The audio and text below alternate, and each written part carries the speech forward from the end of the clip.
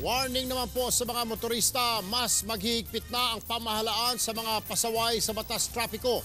Pumapangatlo na raw kasi ang Metro Manila sa lista ng pinakamalala o worst driving places in the world.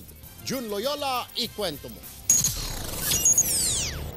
Araw-araw na ruta ni Eugenio ang EDSA papunta sa trabaho sa Makati. Pero dahil sa buhol-buhol na traffic, ang dapat sanang 30 minutos lang na biyahe mula QC, inaabot na ng mahigit isang oras.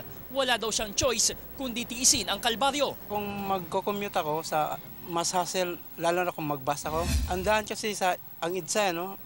masyadong maraming bus. Dahil dito, pumangatlo ang NCR sa worst driving places sa buong mundo sa online travel website na cnngo.com kasunod ng Beijing, China at New Delhi sa India.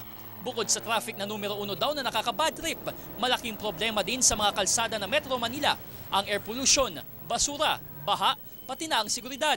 Mukhang hindi din daw nakatulong sa bansa ang 60 million dollars na inutang ng Pilipinas sa World Bank para maayos ang lagay ng trapiko at ating mga daan.